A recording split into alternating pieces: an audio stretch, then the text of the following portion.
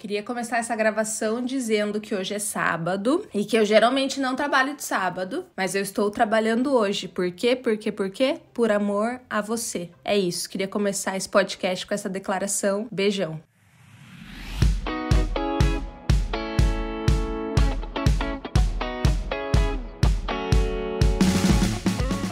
Olá, eu sou a Paula Boarim, mentora de carreira, professora universitária, creator convidada do TikTok LinkedIn Brasil, e aqui eu falo sobre tudo que eu gostaria de ter aprendido quando eu comecei a minha carreira. O que você pode esperar desse podcast? Reflexões, provocações, um bate-papo de amigos tomando um cafezinho, falando sobre vida, carreira, angústias, medos. Sabe aquele bate-papo cabeçudo? Eu amo. Espero que você também.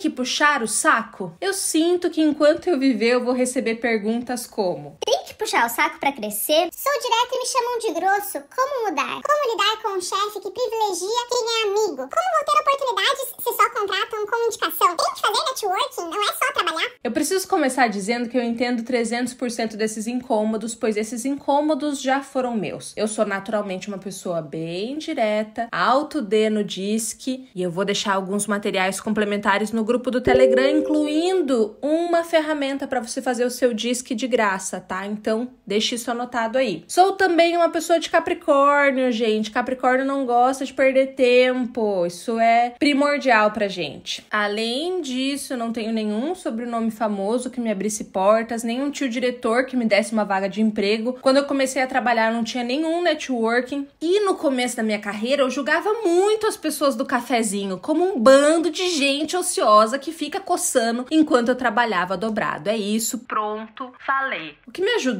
a evoluir um pouco nessa questão foi buscar entender mais sobre a nossa cultura e reconhecer o tamanho que eu tinha nessa estrutura. Ser brasileiro não significa que a gente entende e incorpora a própria cultura de forma natural, não é? Até porque, por conta da nossa miscigenação, das múltiplas culturas que o Brasil já recebeu, a gente tem, apesar de ser um país unificado, variações de comportamento e modo de fazer dependendo do estado, por exemplo. Um país com dimensões continentais é extremamente complexo e talvez também por isso repitam tantas e tantas vezes que o Brasil não é um país para amadores, porque realmente ele não é. De volta aos fatos, a maioria de nós nunca parou para estudar realmente a nossa cultura, os traços, as motivações por detrás dos nossos comportamentos, as camadas mais profundas que vão além da imagem vendida para o exterior de aspas, brasileiro cordial, amistoso que gosta de festa. Tchuc, tchuc, tchuc, e abraça a diversidade. Hum, a gente que tá dentro sabe que não é bem assim que a banda toca por aqui. Ok, para sair da resistência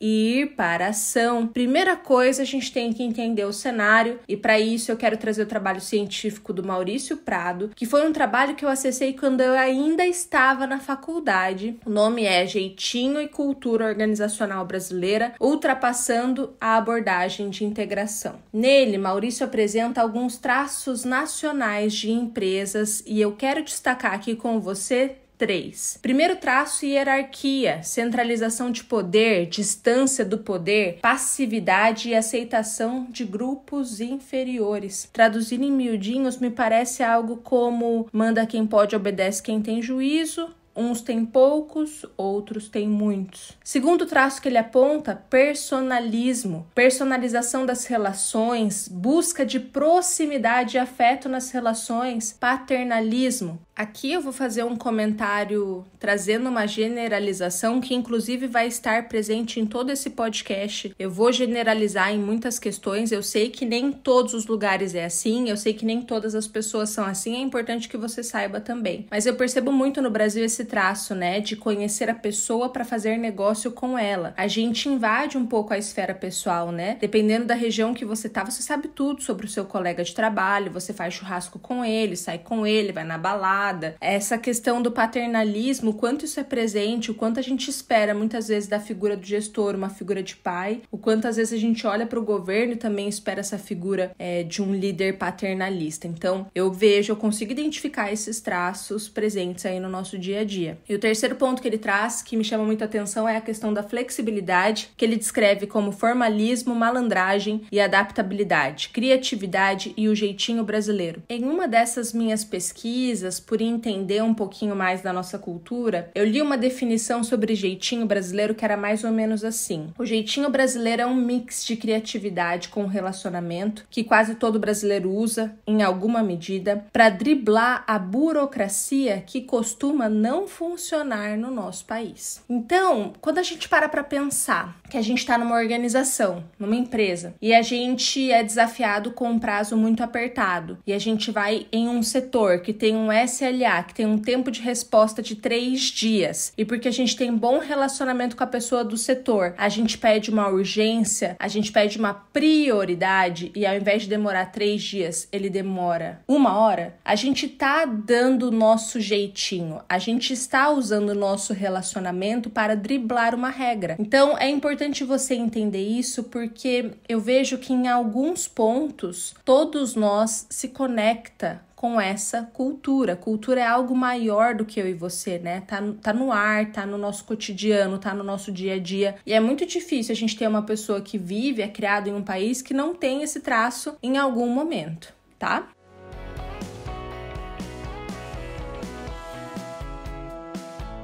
Eu poderia acabar o podcast aqui porque eu acredito que só por esses três pontos a gente já entende mais ou menos como a maior parte das organizações vai funcionar. Mas eu sei que você é uma pessoa criteriosa, por isso eu trouxe uma outra fonte para você e a fonte é o Hofstede. O Hofstede é um grande estudioso de cultura também, inclusive no site dele existe uma ferramenta muito legal que você consegue comparar países e suas culturas também por dimensões culturais. Esse comparativo ele é especialmente importante importante e rico para quem vai se mudar de país, por exemplo, quem vai ser expatriado pela empresa. Geralmente, quem entra num novo país precisa se adequar à cultura. Se eu quiser ter alguma chance aqui na Suécia, o país onde eu moro atualmente, eu preciso estar mais ou menos dentro das expectativas de comportamento e modo de ser daqui. É importante dizer que não vai ser impondo o meu modo de ser, pensar e agir que eu vou conseguir alguma coisa, infelizmente. E essa analogia que eu trouxe com a cultura de um um outro país também serve para cultura empresarial. Geralmente a gente tem que entrar no tom da empresa,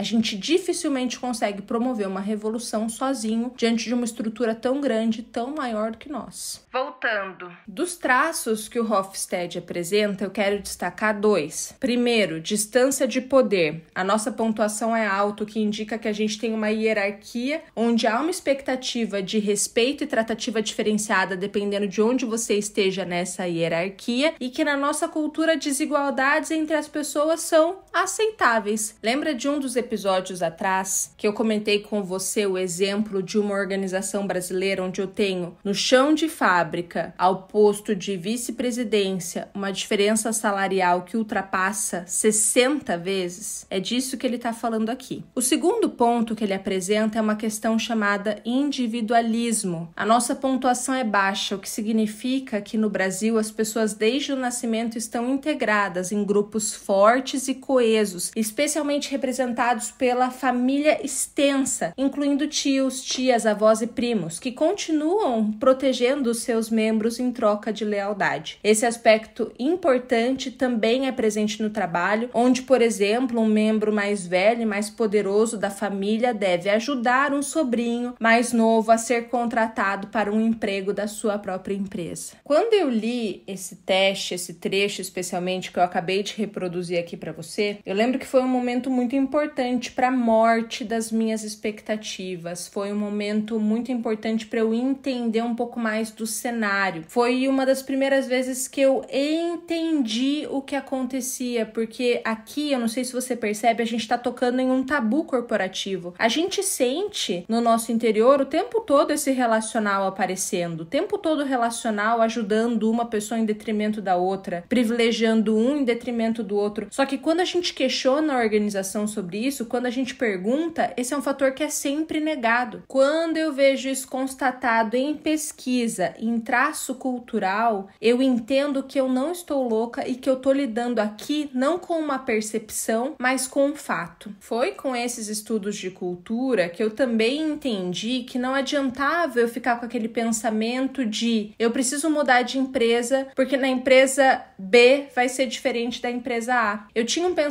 que muitos dos meus clientes têm. Ah, é assim porque é familiar. Se for empresa grande, não vai ser. Se for multinacional, não vai ser. Se for a melhor empresa para se trabalhar, não vai ser. Eu arrisco dizer que você vai encontrar esses traços em maior ou menor medida em quase todas as empresas que nós temos nesse território.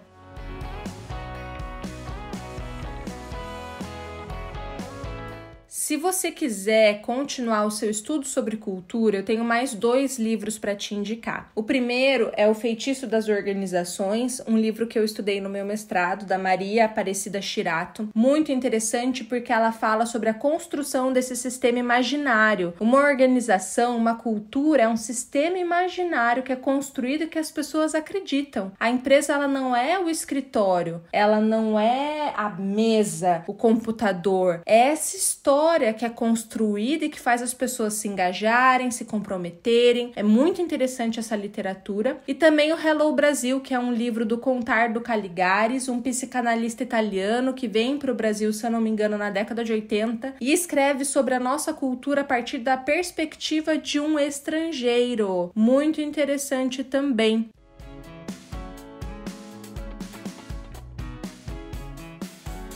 Aproveitando que eu falei sobre o meu mestrado, lembrei de uma história que pode demonstrar o que foi a pá de cal para minha mudança de comportamento, sabe? Eu ainda muito nessa esperança de que dependendo do ambiente as coisas poderiam ser diferentes, vou pro ambiente acadêmico com mais afinco. Eu já dava aula quando comecei a fazer o meu mestrado e eu sempre tive essa ideia romântica da academia, né? Um lugar onde a gente pode questionar, onde a gente pode provocar, onde a gente pode pensar, onde não se tem as vaidades do mundo corporativo. E lá fui eu Paula, aluna. Eu lembro que o professor estava explanando sobre a academia, sobre os métodos, as formas, e eu lembro de ter levantado a mão e falado: Olha, prof, eu acho que a gente tinha que se modernizar aqui, usar mais YouTube, podcast, usar mais as redes sociais. A academia ela tá muito distante do mercado, a gente podia aproximar, podia fazer isso, podia fazer aquilo. E dá-lhe dar ideia para esse professor, né? Ele me escuta, chega uma hora que ele chega bem pertinho da minha mesa e me fala o seguinte: Paula, vamos fazer o seguinte? Primeiro, seja alguém dentro da academia, depois me diga o que você acha que tem que ser feito.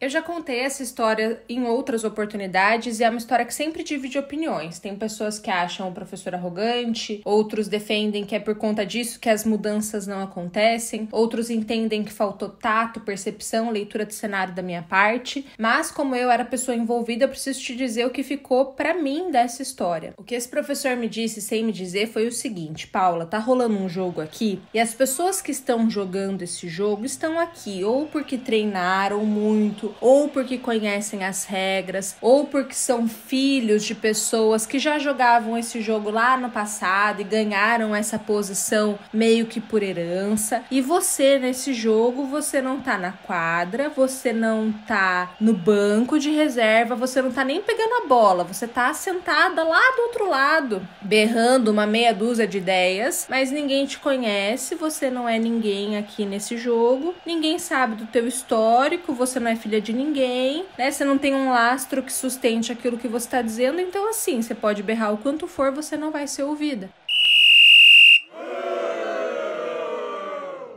Conta pra mim. Você já se sentiu impotente? Já sentiu que queria muito, muito algo, mas todas as vezes que você tentou, você dava de cara com a parede? Era assim que eu tava me sentindo naquele momento, mas diferente de quando eu comecei a minha carreira, naquele momento eu entendi, eu estou lidando com um fato, um fato que é cultural, as barreiras existem e eu preciso me apegar a essa realidade, a realidade como ela é e não como eu gostaria que ela fosse. A partir dessa tomada de consciência, a primeira decisão que a gente tem que tomar é como eu vou lidar com isso? Como eu vou transpor essa barreira? O que eu vou fazer com essas informações? A resposta é individual, é correta para você, não existe certo ou errado aqui. A decisão que eu tomei na época foi: eu vou ocupar os espaços de poder Sim, eu vou ocupar o espaço da empresa, eu vou ocupar o espaço da universidade, eu vou ter minha voz ouvida nas redes sociais, eu não vou me intimidar porque o cenário não está para mim, mas eu entendo que do jeito que eu tô fazendo não está funcionando. Então eu vou pro ponto número dois, que é eu preciso mudar a minha estratégia, entendendo aquilo que eu consigo mudar sem me ferir, que também é um outro ponto, né? A gente tá falando aqui o tempo todo de valores pessoais. O que é possível mudar, evoluir sem ferir quem você é? Primeira coisa que eu fiz foi entender a minha raiva e a minha frustração, o que eu senti por muito tempo tempo na minha carreira profissional era a raiva. E a raiva é uma emoção que aparece quando a gente se sente frustrado. E para ser muito sincero com você, e a gente tem que ser sincero para evoluir na carreira, é: eu me sentia frustrada porque eu achava que tinham pessoas com menos mérito do que eu, tendo mais resultados, mais salário, mais destaque do que eu. Isso me deixava envenenada. Eu não conseguia sair desse lugar. Então, a primeira coisa que eu precisei fazer foi lidar com a minha raiva, com a minha frustração. Depois, tirar um pouco da minha mente essa ideia do certo ou errado foi uma desconstrução que levou anos de terapia, de estudo, de filosofia, o que é a realidade, o que é a verdade, porque enquanto eu estava apegada aqui, o meu jeito objetivo, o meu jeito de me relacionar, o meu jeito de fazer trabalho era o jeito certo, eu não conseguia lidar com pessoas que faziam diferente de mim. Terceiro ponto importante nessa mudança foi aprender a falar de uma forma que eu fosse ouvida, que não gerasse resistência, que eu conseguisse conseguisse chamar as pessoas para conversa, para o discurso, que eu conseguisse integrar outras pessoas. Eu não podia ficar falando sozinha se eu quisesse mudar alguma coisa. Então eu precisava melhorar a minha forma de comunicação e eu fiz isso por meio da comunicação não violenta, que é algo que eu já recomendei para você em outros episódios. Uma quarta mudança foi essa leitura de cenário que até então eu não tinha. Eu, tinha um comportamento bem infantil, assim, de, de dar vazão para os meus desejos, para minha espontaneidade, independente do ambiente que eu estava. Então eu comecei a analisar melhor o ambiente, o que o ambiente pede de mim e como que eu consigo me colocar de uma forma mais estratégica aqui, usando mais a cabeça e menos esse impulso. E por fim, entendi definitivamente que networking é parte do meu trabalho, não é uma questão de perder tempo. No Brasil, a gente resolve muitas coisas do trabalho por meio dos relacionamentos, da rede de contato, das pessoas que a gente conhece. Foi importante também também eu encontrar a minha forma de fazer networking. Não me agrada essa ideia de tirar do outro, de usar o outro, de fazer do outro escada. Então eu entendo networking como uma poupança, onde para eu sacar, talvez no futuro, porque nada é uma garantia de que o outro vai te devolver o bem que você fez para ele, você precisa depositar, você precisa entregar, você precisa estar disponível a ajudar. Isso tem tudo a ver com a forma como eu vejo a vida. Então não é uma agressão, né? Eu só coloquei mais intenção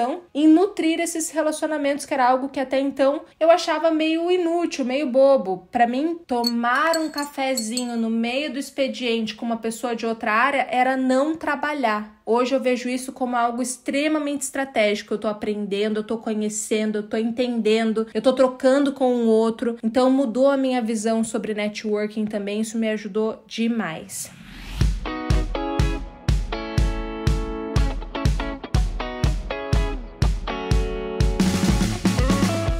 Olha, eu arrisco a dizer que talvez esse episódio seja um dos mais importantes desse podcast. E pra gente encerrar toda essa tour, vamos com um resumão, né? Se eu tivesse que definir o Brasil em poucas palavras, diria que o Brasil é um país de cultura relacional, de comunicação indireta, que às vezes ainda a gente encontra o traço de para os amigos tudo, para os inimigos a regra, e que nesse tipo de cultura a forma, a forma como a gente comunica, a forma como a gente se expressa às vezes é tão ou mais importante do que o conteúdo que a gente apresenta. Respondendo à provocação que eu fiz na abertura desse episódio, eu não acredito que a gente tenha que puxar o saco para crescer, até porque o puxar o saco tem sempre essa conotação de enganar o outro, usar o outro, mentir para o outro. Eu não acredito nisso, mas acredito que a gente tem que se relacionar bem Saber quando é prudente se calar, saber como se colocar, ser sensível no trato com o outro, entender as necessidades desse outro, usar sua empatia, seu rapport, principalmente aquelas pessoas que se definem como pessoas objetivas e que acham que o outro ser mais sensível é uma questão de mimimi. É importante ter uma empatia, um rapport, uma adequação do seu estilo de comunicação, até para que essa comunicação possa ser efetiva e para fechar esse episódio com um tom de esperança, eu quero trazer três movimentos que eu percebo no mercado que têm potencial no longo prazo de mudar um pouco essa cultura. O primeiro deles é a evolução do compliance nas empresas brasileiras. Nos últimos anos, isso evoluiu muito por conta dos escândalos de corrupção, por conta da identificação desses traços na política, no governo. Isso cascateou para as empresas. Eu percebi uma evolução muito grande e aquilo que é possível constatar por meio de ações concretas já é possível ser denunciado. Então eu acredito que isso já é uma evolução porque começa a ter consequências para quem faz isso. Segundo ponto que eu acredito que é fundamental para essa mudança é a prática de vagas afirmativas, porque eu falei para vocês sobre relacionamento e a gente sabe que na prática muitas vagas, eu vi um estudo uma vez que falava que até 80% das vagas eram fechadas por indicação. Só que esse networking, essas indicações, elas são mais fáceis para um grupo do que para outros. Eu trouxe para vocês um pouquinho da minha dificuldade para ilustrar, mas eu tenho certeza que ela teria sido muito maior se eu fosse uma mulher preta e periférica. Então, essas vagas afirmativas para facilitar a entrada de alguns públicos que têm mais dificuldade nesse acesso é muito, muito importante. E terceira ação que eu percebo que tem potencial essencial para mudar o mercado a longo prazo é o comportamento das novas gerações, pessoas mais novas aí do que eu, do que você talvez, que estão entrando questionando muito. A nova geração, ela sempre tem esse papel de incomodar o mercado, de provocar o mercado. Nós também estamos vendo esse movimento de demissões em massa, mesmo em um mercado de crise, o que vai fazer esse mercado ter que evoluir, ter que avançar. Então eu percebo sim mudanças estruturais. Olha como é importante a política, a prática estruturada, a regra,